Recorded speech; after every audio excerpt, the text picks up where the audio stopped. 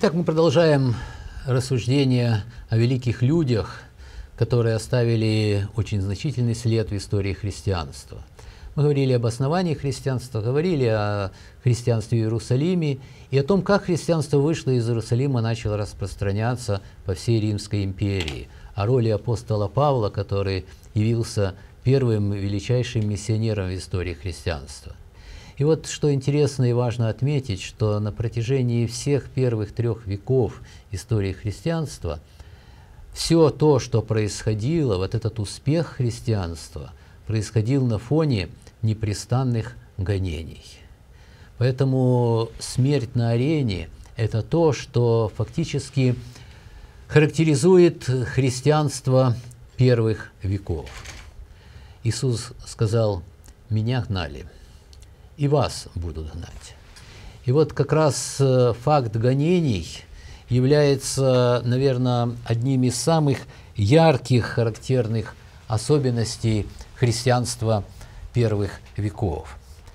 Тут э, я должен немножко отвлечься в сторону и, наверное, немножко э, рассказать вообще об истории гонений как таковых. Дело в том, что вопрос гонений – имеет очень сложную судьбу в исторической науке. Христиане любили своих мучеников. И поэтому эта любовь, наверное, украсила те сухие и лаконичные строчки мученических актов разнообразными деталями. И дошло до того, что на смену э, вот того скупого описания, которое было в исторических документах, в эпоху Средневековья сложилась целая золотая легенда о мучениях.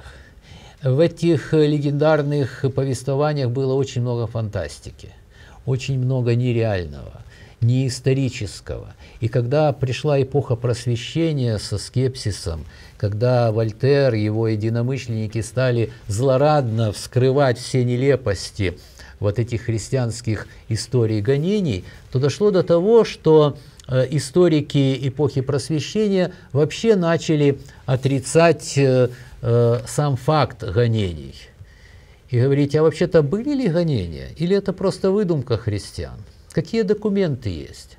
Дело в том, что действительно Э, реальные подробности гонений на самом деле очень э, плохо известны исторической науке. Большинство гонений не отразилось в документах. И вообще трудно объяснить иногда, почему гонения происходили, на каких юридических основаниях происходили гонения, каковы были масштабы этих гонений. То есть э, вопрос о гонениях действительно очень сложный и непростой вопрос, но вот этот скепсис эпохи просвещения помог э, христианству по-настоящему воссоздать картину гонений. Э, в истории гонений различают несколько этапов. Э, мы попробуем описать э, как бы очень кратенько э, три основных этапа в истории гонений. Первый этап – это иудейские гонения, о которых мы с вами уже говорили. Это гонения, которые происходили начиная с 30 примерно по 60 год. И в основном они происходят от иудействующей верхушки. То есть руководство иудейской знати, как правило, организует гонения или вначале это были в самой Иудее, в Иерусалиме, в окрестностях, а позже в Иудеях, э, в, э, среди иудеев в рассеянии, там, где они жили, очень часто евреи возбуждали руководителей города, имея влияние на них, так как еврейские общины достаточно были богатые, сильные общины, часто имели серьезное большое влияние в городе, то они умели возбудить руководство и начинались гонения на христиан. Со стороны римского государства все это выглядело как э, внутри религиозные разборки – ну вот там евреи между собой разбираются, воюют, одна секта еврейская против другой. Ну, в общем, как бы внутренние дела евреев. Государство не понимало еще христианство как отдельной религиозной группы и воспринимало христианство просто как иудейскую секту. Вот типичный пример гонения этого периода – это побиение Стефана.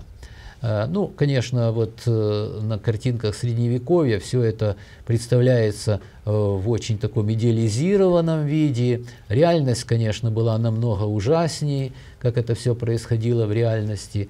Но, как бы то ни было, гонения иудейские продолжались недолго.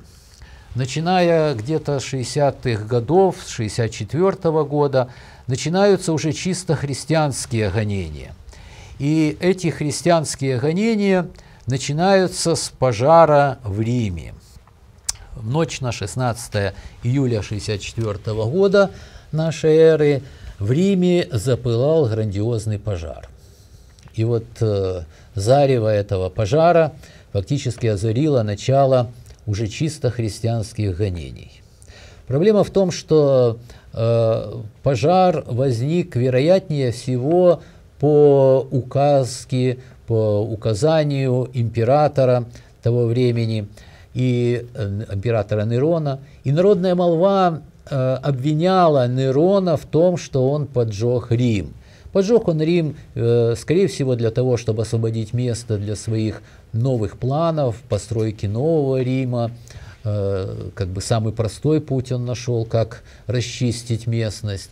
Ну, мы не знаем до конца, как это произошло, было ли это действительно случайностью или плановый поджог, неизвестно. Но, во всяком случае, историк того времени, историк Тацит пишет, он пишет в своих аналах, э, рассказывает о том, что Нерон, чтобы побороть слухи, приискал виновных и предал изощреннейшим казням тех, кто своими мерзостями навлек на себя всеобщую ненависть и кого толпа называла христианами.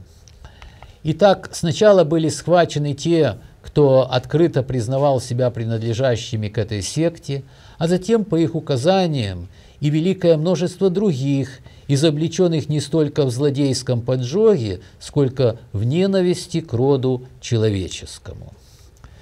Ну, э, в некоторых рукописях даже есть еще вставка между этими двумя абзацами, э, где более подробно рассказывается, кто такие христиане.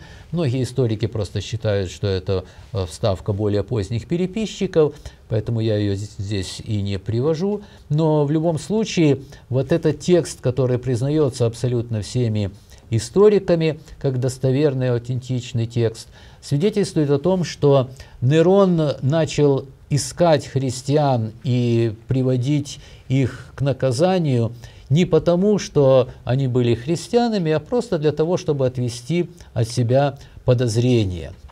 И вот дальше э, рассказывает э, Тацит так. Их умершление сопровождалось издевательствами, ибо их облачали в шкуры диких зверей, дабы они были растерзаны насмерть собаками. Распинали на крестах, или обреченных на смерть в огне поджигали с наступлением темноты ради ночного освещения. Для этого зрелища Нерон предоставил свои сады. Ну, э, вот э, на одной из самой знаменитой, наверное, картине Семирадского, которая называется «Светочи христианства», как раз э, и представлена э, вот эта ужасная картина. Нерон сидит э, на своей на, своих носилках, вот его собираются вести на, ночь в дачу, и вот вся аллея, по которой он будет ехать, уставлена такими живыми факелами. Он будет ехать и наблюдать за смертью людей. Можете себе представить, что это вообще за человек был. Ну, э, вот э, эти все описания как раз э, свидетельствуют о том, что гонения, которые тогда переживало христианство, не были связаны, собственно, с религиозным основанием христианства.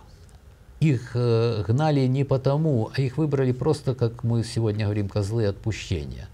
То есть просто, чтобы сорвать вину, чтобы отвести подозрения, избрали такую группу самых э, несчастных, самых безобидных, которые не могли сопротивляться. И гонения, которые были при Нероне, были короткими, были локальными, хотя и очень и очень жестокими. Э, пример гонений в э, столице вызвал подражание в некоторых провинциях. Там тоже э, устроили нагонения на христиан, но, как говорят многие авторы того времени, эти гонения очень быстро прекратились. И э, до э, довольно э, длительный период, до середины третьего века, фактически Э, очень мало в это время происходит гонений, гонений, которые э, затрагивают, э, собственно, христиан как таковых. Вся проблема в том, что во время императоров допускались верования самые разные, и каждая группа могла верить, как она желает. И если происходили какие-то гонения, то гонения, как правило, э, сопровождались только э, какими-то внешними побудительными причинами. То есть на христианах э, просто пытались выместить некоторую злобу, но ни в коей мере они еще не были связаны юридически, не были связаны с самим содержанием христианской веры. Один из немногих вот э, исключений составляют э, гонения, когда императоры пытались всех вернуть в отеческие, э, к поклонению отеческим богам, к отеческой вере. В 2003 году Септимий Север издает эдикт, по которому каждый должен следовать той вере, которой он родился, и не изменять эту веру по произволу. По сути дела, это был запрет на иудейский и на христианский прозелитизм. А, то есть э, это не были эдикты или указания против определенной религии, но это было общее указание оставаться каждому в той вере, в которой он родился, как бы образно говоря. И этого чисто языческое представление, оно э, фактически Э, отразилось на христианах в виде гонений. И гонения эти особенно коснулись Карфагена. И вот там, в Карфагене, как раз э, были очень известные мученики, о которых мне особенно хотелось бы поговорить, и которые показывают, э, как, собственно, христиане того времени переносили гонения. Этими мучениками стали Матрона Перпетуя и ее служанка Фелицитата – а, сохранились до нашего времени страсти, так называемые страсти святых Перпетуи, Фелицитаты и с ними пострадавших. Так называется этот документ. Это э, один из наиболее ранних и наиболее достоверных документов, которые рассказывают э, о том, как происходили э, гонения и преследования. Э, с исторической точки зрения это может быть один из тех немногих фактов, которые мы можем действительно предъявить как э, раннее свидетельство о гонениях на христиан. Э, в Карфагене в 203 году арестовали тех, кто готовились к крещению, так как они формально нарушили вот это установление Эдикт Септимия Севера. Они э, были арестованы, это были Перпетуя, Фелицитата, Сатурнил, Секундул и раб э, Ревокат. Э, вот эта группа, которые даже они еще не приняли крещение, но они только перешли в христианство. Эта группа была арестована, и э, родственники, особенно э, отец Перпетуи, очень старался убедить ее вернуться. Принес ей грудного сына, который только недавно родился, и говорил, что вот он останется без, без матери, как это может быть. Очень такое описание, я бы сказал, трогательное, э, психологически очень сильное давление пережила она. Кстати, в тюрьме они приняли крещение – Э, в то время служители, очевидно, умели найти способ, как попасть в тюрьму и даже в тюрьме преподать крещение. Ну, чаще всего это делалось за деньги, через подкуп стражника. Так это обычно происходило. И они э, совершенно э, твердо и сознательно шли на э, эти мучения. И вот как э, описано в этом документе, для юных женщин дьявол изобрел свирепую буйвелицу, приготовленную специально для этой цели. Перпетуя была поражена первая, она упала на бок, и когда она увидела, что ее рубашка порвалась сбоку, она запахнула ее более в знак скромности, нежели страданий. Потом она встала и подняла свои неспадающие волосы, потому что не подобает мученице страдать с неспадающими волосами. Звери изранили мучеников, но не смогли убить их. И тогда по требованию народа приказано было, как тогда говорили, покончить с ними. То есть пальцы были опущены вниз, и это означало, что мученики должны быть убиты. Перпетуя и тут э, вытерпела некую муку, э, как э, свидетельствуют эти страсти.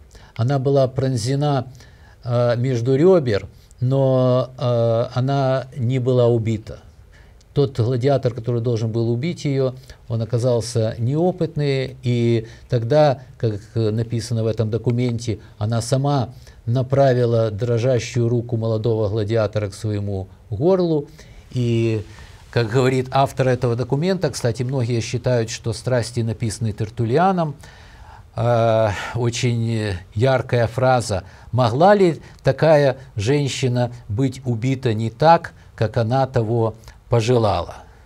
Это действительно очень сильное замечание, потому что то, что перенесла, то, что вытерпела перпетуя, это, конечно, было не только очень ужасно с чисто человеческой точки зрения, но это свидетельствовало о ее вере. И многие э, думают, что Тертулян, который потом рассказывает о себе, что он пришел к христианству именно видя смерть мучеников – может быть, он как раз пришел к христианству, видя смерть перпетуи. Он, э, вероятнее всего, присутствовал на этом сражении, на этом зрелище, как тогда говорили. Это э, просто документ, который вот рассказывает о том, как э, происходила жизнь христиан того времени. Но до э, 250 года э, систематических гонений на христиан – не было. То есть если первый период гонений до 64 года, иудейские гонения, э, мы говорили с вами, был э, довольно спокойный для христиан, Второй период тоже был, в общем-то, начиная с 64 года до 250 года, более не менее спокойный. Конечно, вот читая такие страсти, трудно говорить о каком-то спокойствии. Никто из христиан не мог чувствовать себя спокойным э, в этот период. Но э, если мы говорим только об единичных гонениях, то надо понимать, что были периоды э, по 30, по 20 лет, когда не было никаких гонений. Христиане свободно развивались, строили молитвенные дома, жили, и гонений не было. А потом снова начинался период ожесточенных гонений, а потом снова он затихал. И так продолжалось до 250 года. А вот в 250 году ситуация меняется. В 250 году э, император Деций, который в то время управлял Римской империей, решил возродить в империи «пакс деорум», как он тогда говорил, «Божий мир». То есть он вообще видел себя как восстановитель всех святынь. Дело в том, что 250 год от Рождества Христова – это как раз тысячный год от основания Рима. Э, в этот год э, император хотел устроить великие празднества. Ну, вообще, и он по, по натуре был такой консерватор, который хотел вернуться к старым римским обычаям, к старым традициям римским. И он э, отдает указания, чтобы во всей империи э, каждый житель империи должен был публично в присутствии специальной комиссии принести жертву римским отеческим богам. Почему это он делал? Ну, не, это сделано не против христиан было. Это было сделано фактически в пользу э, древнего богопочитания. Потому что вот все те беды, которые обрушились на империю в 250 году, а началось нашествие варваров, землетрясение, чума, э, очень много неприятностей. Я сейчас не буду даже все это перечислять. Все то, что э, выпало на долю Децию и империи в 250 году по Рождеству Христову, все это объяснялось с точки зрения языческого мышления тем, что боги, наши старые римские боги, недовольны они обижены, потому что появилось много христиан, появилось много иудеев, появилось много восточных культов, и наши боги теперь в пренебрежении. И вот для того, чтобы восстановить порядок, нам надо снова восстановить поклонение нашим старым отеческим богам. Вот это такой патриотизм в такой религиозной форме, я бы сказал. Очень знакомое явление, наверное.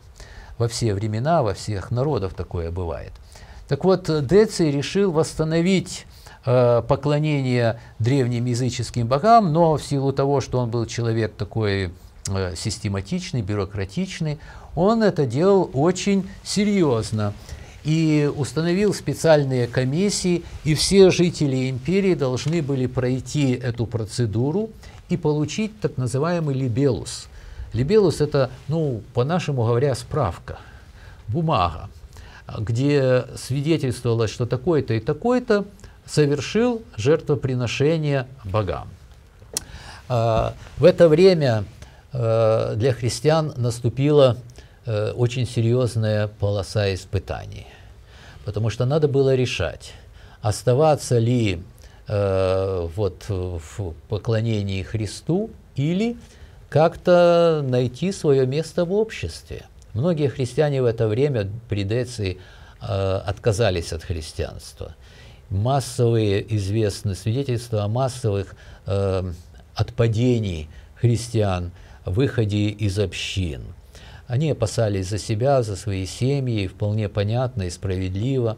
Известно, например, что один э, из епископов, э, говорят, что даже Смирнский это был епископ, что он привел всю общину свою к жертвеннику, там они совершили жертвоприношение, как положено было по э, этому указу, а потом он тут же всем простил, они все покаялись, он их всех простил, освободил, сказал, что я буду нести ответ перед Богом только.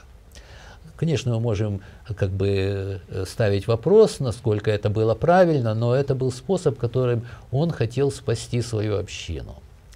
Так ли он поступил или нет, он будет отвечать перед Богом. А, то есть было в это время очень много случаев. В это время появилось очень много мучеников, самых настоящих мучеников, которые шли на смерть, которые претерпели невероятные страдания и мучения, но не захотели принести жертвоприношение. А были и такие, которые нашли очень удобный, я бы сказал, современный способ уклониться от э, э жертвоприношений вместе с тем э, вроде бы остаться чистыми перед э, христианством, перед государством. Они покупали либелусы. То есть можно было заплатить э, чиновникам определенную сумму, тебе выдадут эту справочку, на самом деле ты не приносишь жертву, вроде бы все в порядке, совесть чиста, я же жертвы не приносил. И справка есть, и, и, и перед государством все как положено, никто гнать не будет. То есть э, то, что происходит в 20-21 веке, это не новое явление. Это уже было в истории, к сожалению, так. То есть эти гонения выявили очень многое в христианстве. С одной стороны, они показали высоту христианства и явили миру невероятные примеры мученичества, но с другой стороны показали слабость христианства – многие были сосланы, имущество было много конфисковано. К счастью, это гонение продолжалось недолго. Деций умер, и как бы это постепенно, эта вся затея э, заглохла, затихло гонение. Но э, гонения с этого времени, уже с 250 года, начинаются регулярные. И они уже подтверждаются указами императоров. Если до этого времени нет никаких документов до 250 года, то здесь уже с 250 года появляются указы. И появляется еще один э, факт или перспектива гонений, э, связанная с поклонением императорскому культу. Дело в том, что э, начиная, собственно, с первого века уже э, императоров Римской империи обожествляли – обожествляли не в том смысле, что действительно люди верили, что какой-нибудь Троян или Диоклетиан или кто-то другой, что действительно Бог. Ну, все прекрасно знали, что Нерон это никакой не бог, а человек, и причем не очень хороший человек даже. Все это прекрасно было известно. Но э, поклонение императору, смысл его заключался в другом. Это была своеобразная присяга. То есть э, то, что вот сегодня приносят как присягу э, государству, свидетельство о том, что я буду лояльный государству, что я обязуюсь выполнять все требования государства, э, в древнем мире это было облечено в религиозную форму.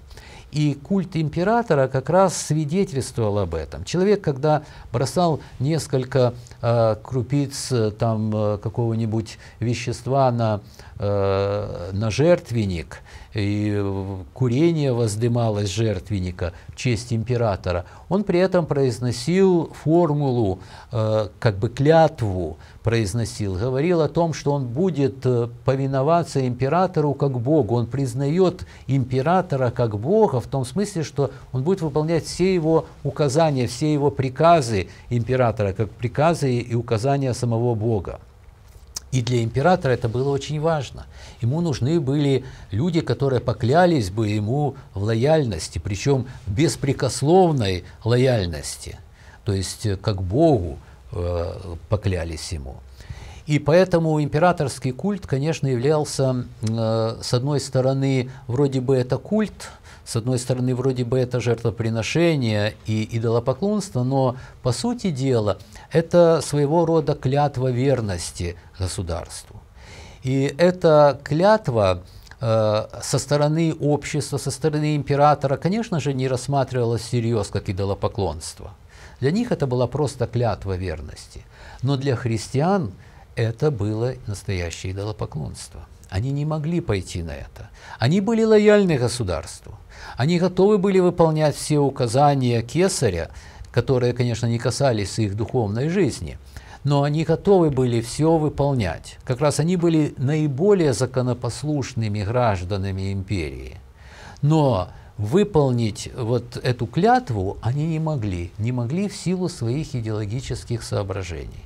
И из-за этого, собственно, они попадали вот в эту сложную коллизию, когда э, требовалось принести эту клятву, они не могли это сделать, и их начинают гнать. И гнать не за религиозные, собственно, убеждения, а начинают гнать прежде всего за то, что они отказываются приносить клятву императору. При Диоклетиане были изданы фактически четыре указа, которые затронули все стороны жизни христиан.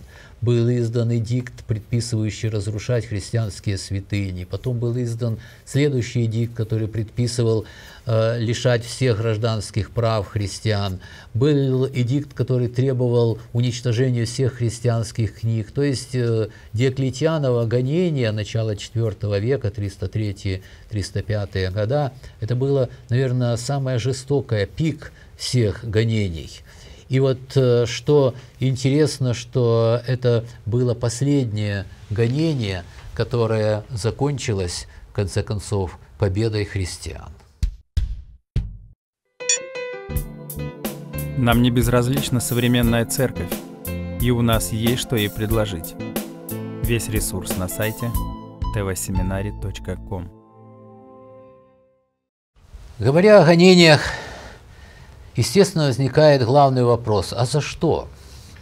За что, собственно, христиан так гнали? Почему такая непримиримая вражда возникает? Почему возникают все эти гонения? И возникает еще один более сложный вопрос.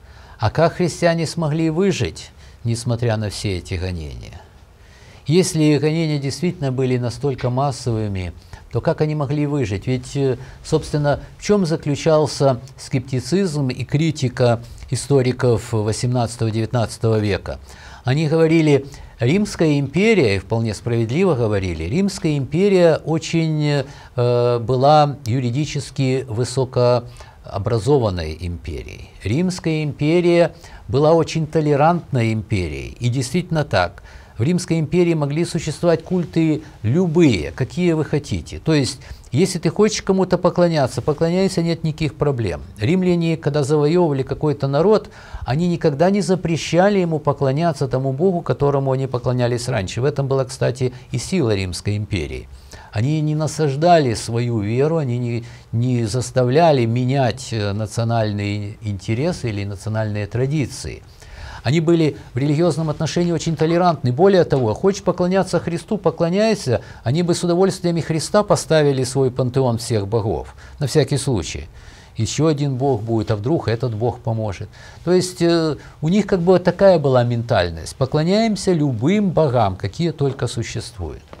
И вот э, в отношении христиан вдруг начинаются гонения. Почему вдруг христиан не принимают?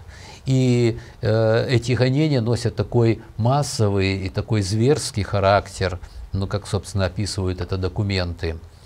И тут надо отличать причины гонений и поводы для гонений. Дело в том, что это совершенно разные вещи.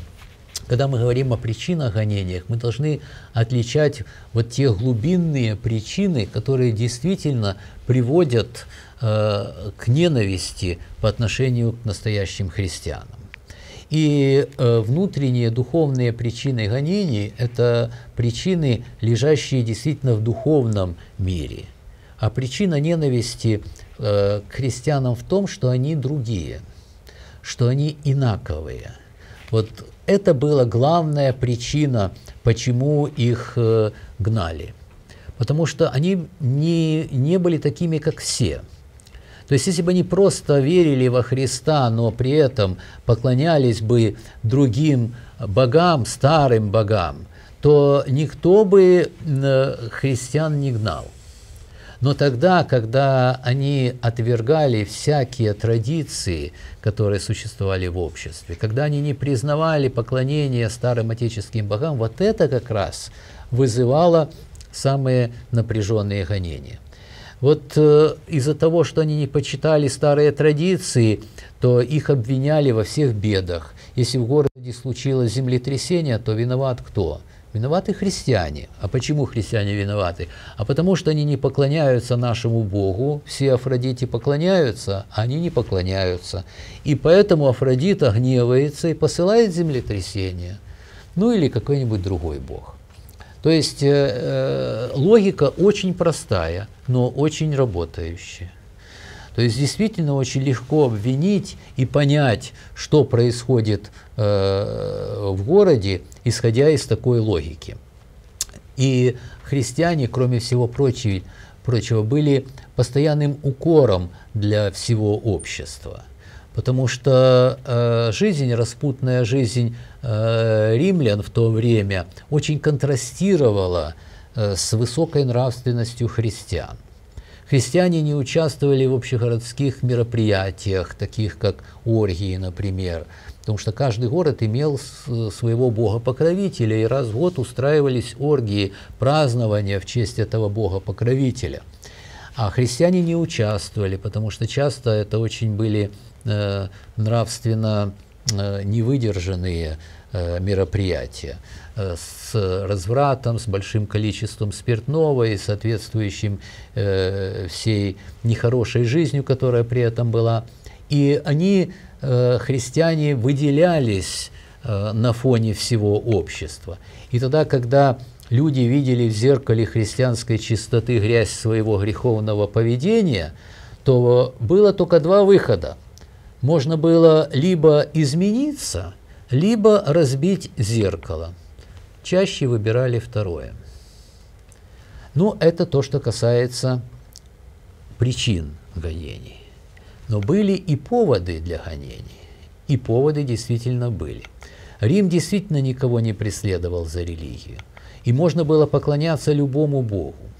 Но вот проблема в том, что христиане категорически не хотели поклоняться никакому другому Богу, и это уже казалось угрожающим для государственной безопасности.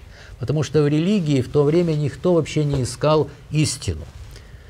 Если люди искали смысл жизни, истину, нравственные какие-то законы, они искали это не в религии, а искали это в философии. Этим занимались философы – вопросами нравственности. Если бы жрецу какого-нибудь Зевса вы пришли и сказали, что вот э, почему вы не учите высокой нравственности или вообще какой-то нравственности, что вы должны учить этике, вы должны учить поведению, это роль религии. Так, сегодня думаю, это религия, что религия учит э, законам поведения, нравственности и так далее. Жрец бы очень удивился. Потому что с точки зрения древней религии, с точки зрения язычества, религия – это просто система богопоклонения, и никакого отношения к нравственности она не имеет. И более того, даже если посмотреть на нравственность всех этих римских и греческих богов, то эта нравственность вызывает очень много вопросов. Они распутные, они безнравственные, они обманывают, они, в общем, творят такие дела – которые никак не вписываются в высокие законы нравственности. Так что христианство тогда, когда э, начало связывать религию, Бога и нравственность, и жизнь, э, явилось совершенно новым явлением вообще э, в сознании людей того времени. И это, конечно, вызывало очень много вопросов, недоумений и отвержений вот этого нового. Но в чем же официально обвиняли христиан? Иногда, конечно, их обвиняли в разных э, извращениях. Ну, в чем угодно, собственно, обвиняли. Э, некоторые авторы считают, что их обвиняли или Э, формально гнали за тайные собрания, за прозелитизм, за атеизм. Кстати, за атеизм в то время тоже положено было наказание. Сегодня как раз все наоборот, но э, тогда за атеизм положено было наказание. Сократ, например, э, умер именно по обвинению в атеизме. То есть э, э, по многим факторам могли бы их гнать. Иногда это была государственная измена, обвинение в государственной измене. Кстати, еще раз хочу подчеркнуть, что римское государство было очень высоко правовое государство. И в этом государстве без суда просто так, ну, бывали, конечно, случаи, там все бывало, но в принципе без суда не происходило ничего. И все гонения должны были как-то быть оформлены юридически – и вот государственная измена, отказ от поклонения императору как раз приводил часто к гонениям. Иногда э, их обвиняли вообще э, в том, что они существуют. Вам не положено существовать. Даже такое обвинение э, можно встретить. Но все-таки удивительный момент, почему они выжили – и как они смогли выжить и развиться и достичь такого положения, что порядка 10% населения империи к IV веку. И здесь надо сказать, что была э, в римском законодательстве одна очень интересная особенность, которая позволила выжить христианству. И особенность эта заключается в том, что в римском праве нет государственного обвинителя. Вот сегодня во всех наших правовых системах в России, в Украине, там, в Белоруссии, ну и в Европе есть государственные обвинители. То есть если э, есть какой-то случай нарушения закона, и э, нету э, того, кто обвиняет со стороны потерпевшего, то роль обвинителя берет на себя государство. Есть прокурор, который всегда выступает на суде и требует наказания, обвиняет э, подсудимого. В римском праве не было прокурора. Всегда э, обвинителем должен был выступить потерпевший, или э, он мог нанять кого-то от своего имени, э, нанять, чтобы какой-нибудь ритор выступал или какой-нибудь адвокат выступал на суде от его имени. Но если не было потерпевшего, то суда не могло состояться. И вот эта особенность как раз объясняет, почему вот в этих условиях гонений христиане могли выжить, потому что арестовывали только тех, на кого было обвинение. Христиане не прятались нигде. Вот э, наше распространенное представление, что христиане первых веков собирались где-то там в катакомбах, по лесам, прятались, это все э, очень надуманное э, описания. На самом деле были, конечно, собрания в катакомбах э, в, в честь мучеников, иногда и в лесах собирались, но в основном они собирались в молитвенных домах. Всем было хорошо известно, где собираются христиане, кто является христианином в городе. Это все прекрасно знали. Они не прятались совершенно. И когда начинались гонения, то в принципе, как бы с нашей точки зрения, должны были бы всех арестовывать. Но вот система, юридическая система Рима не могла позволить, чтобы арестовали всех. Арестовывали только тех, на кого было обвинение.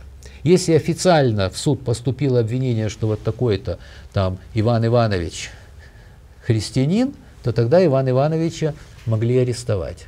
А иначе его не могли тронуть, хотя все знали, что он христианин. И это, кстати, использовали очень часто э, люди, которые были обижены на христиан.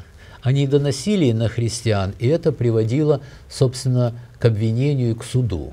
Вот типичный пример, который приводит Иустин Философ во второй апологии э, своей, которую он пишет, обращаясь к императору. Он рассказывает случай. А бывший муж ее, э, он говорит о жене, которая стала христианкой, а муж остается язычником – а бывший муж ее, не могший теперь вести дело против нее, поступил таким образом. Сотника своего приятеля он убедил взять Птоломея, это епископ, через которого его жена покаялась и стала христианкой, убедил взять Птоломея и спросить только о том, христианин ли он. Птоломей исповедал себя христианином, и зато сотник оставил его в узах и долго мучил в темнице. То есть э, вы видите, что здесь совершенно ясно описан случай, когда э, человек просто имеет вражду против христианина, доносит на него как христианина, и этого уже достаточно для того, чтобы э, начался судебный процесс. А если э, не доносили на кого-то, то он мог свободно жить при самых страшных и самых ожесточенных гонениях. Вот это как раз послужило тому, что христианство, несмотря на вот такие страшные гонения, могло выжить, имело юридическую базу для того, чтобы жить. Но не только физические гонения в это время претерпевает христианство. Э, первые века христианства характерны, как, собственно, и все времена, бранью невидимой. Это борьба с различными уклонениями в христианстве – это проникновение греха, проникновение лжеучений. Причем надо сказать, что читая вот э, труды, работы ранних христиан, апологетов, э, мучеников, когда читаешь эти все работы, то э, удивительно, они меньше обращают внимание на физические гонения, чем на духовное противостояние. Они больше призывают к стойкости в духовной битве, чем э, в стойкости в битве физической. И фактически все письма э, епископов того времени наполнены пасторской заботой именно о духовном состоянии своих членов.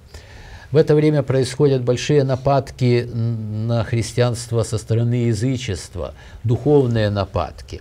И далеко не все могут устоять э, на этом христианском пути. Э, много очень трудностей для христиан доставили разделение, э, распри, распри, внутренние христианские распри.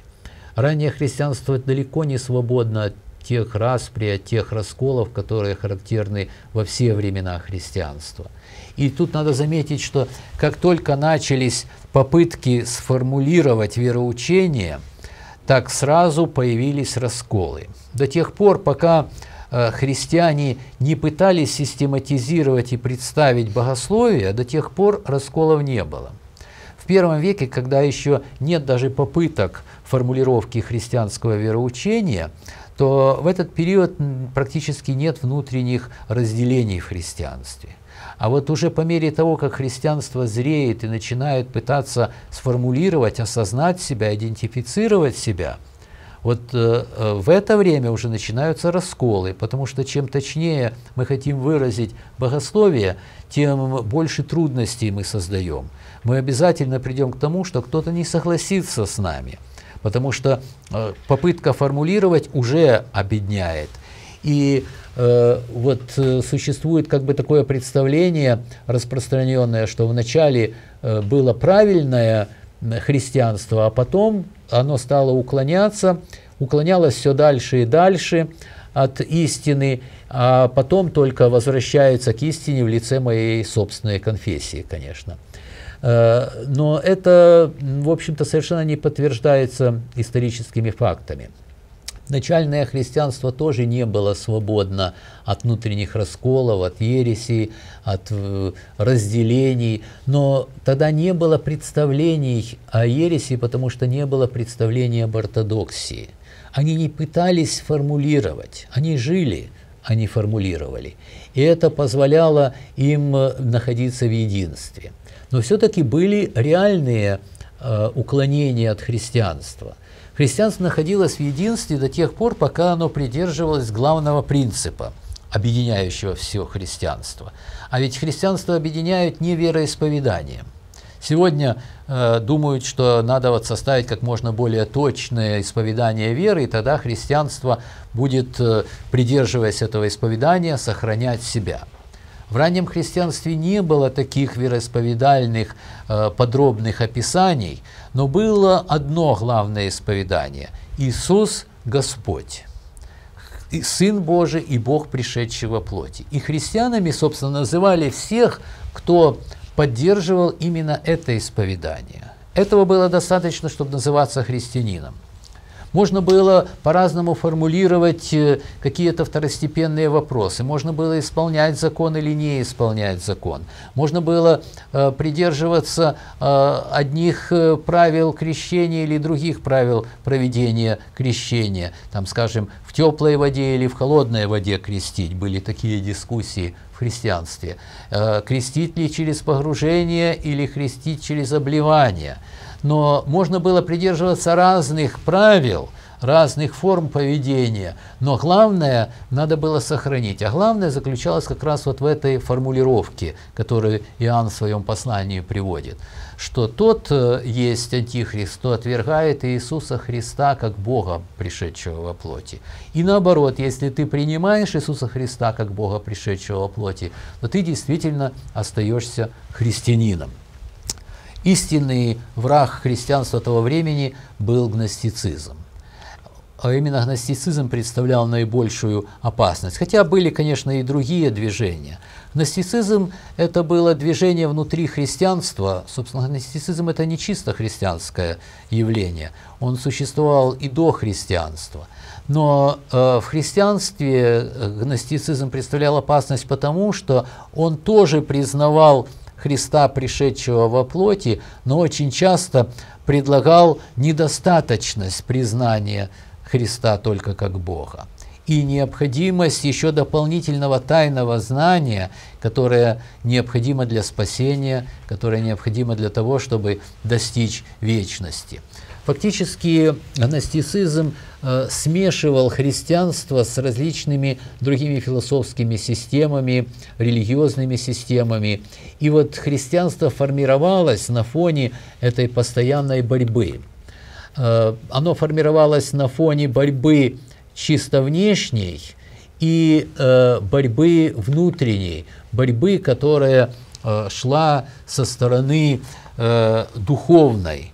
И это фактически сформировало христианскую систему такой, какой она пришла к концу третьего века. Вот такой вот вопрос. А, очень долгое время велось гонение на христиан. А, так вот, когда в Римской империи смирились с их существованием и когда гонения закончились? Очень хороший вопрос. Потому что действительно, с исторической точки зрения, удивительно, э, такие массовые гонения, такие ожесточенные – накал очень высок гонений, особенно вот 303 год Диоклетиан, гонения, которые, казалось бы, должны были полностью уничтожить, и вдруг, как по манению волшебной палочки, как будто бы невидимый дирижер дал какое-то указание, вдруг после Диоклетиана Константин, император, который занял место Диоклетиана, следующий на престоле, Константин вдруг объявляет себя христианином. И, конечно же, заканчиваются всякие гонения. С 312 года заканчиваются всякие гонения на христиан. Как это объяснить с исторической точки зрения? Это очень непросто. Но об этом мы должны специально говорить, рассматривая жизнь Константина.